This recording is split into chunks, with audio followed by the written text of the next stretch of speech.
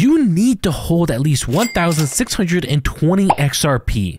Why that number? Well, in this video, I'm going to explain how 1,620 XRP could change your life.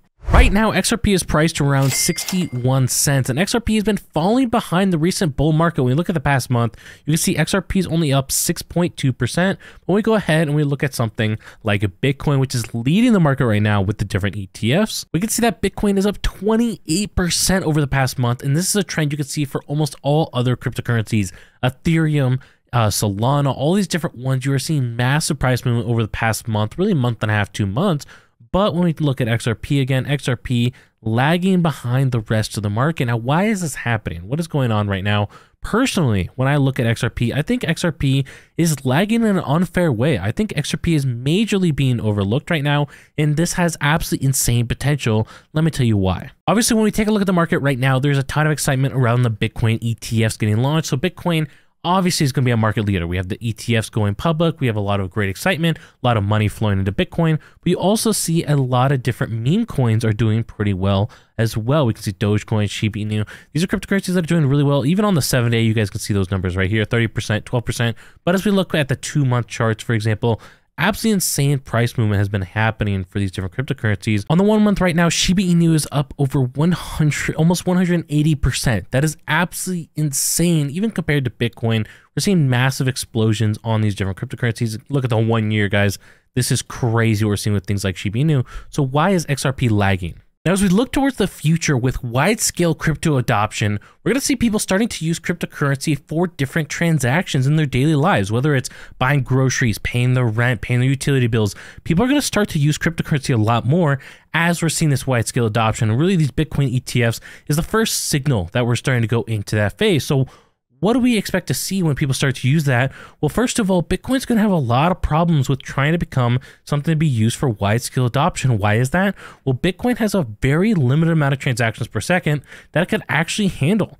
And so if you try to use Bitcoin for, let's say, all credit card transactions, say we're trying to replace credit card transactions in the US, Bitcoin would struggle dramatically with that kind of volume.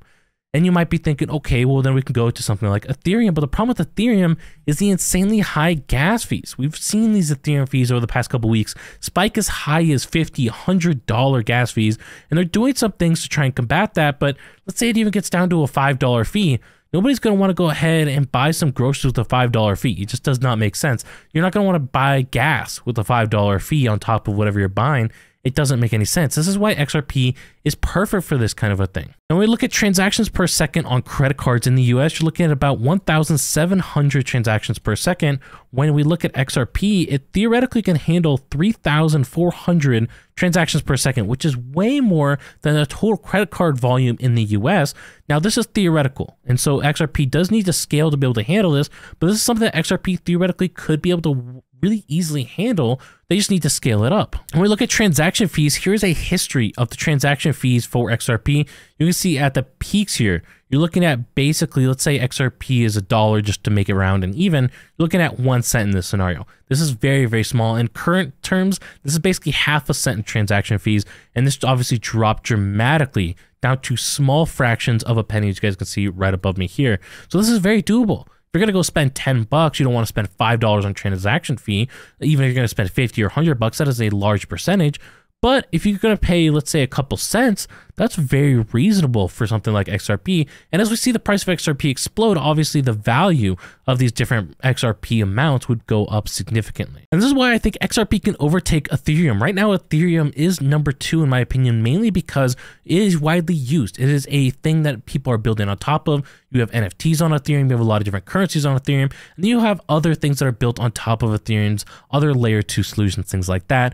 I think XRP could be the next big Ethereum in terms of actual use case. And so I think XRP could easily overtake Ethereum, which right now would mean that XRP would go up over 12x, which means that your 1,620 XRP would be worth at least $10,000 if this happens.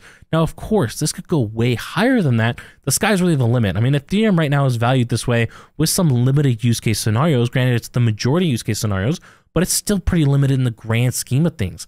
If XRP actually takes over, let's say, credit card transactions, I mean, your 1,620 XRP could easily go to $100,000 or more if that happens. Now, the problem is, how do we get there? And that's something that we need to figure out. And this is why the explosive growth that we've seen in cryptocurrency so far is so small compared to the grand scheme of the potential of cryptocurrency and specifically XRP to shape the future of transactions. And if you want to learn more about how cryptocurrency can change the way the world operates with transactions, you need to hear Max Keiser in this video right here.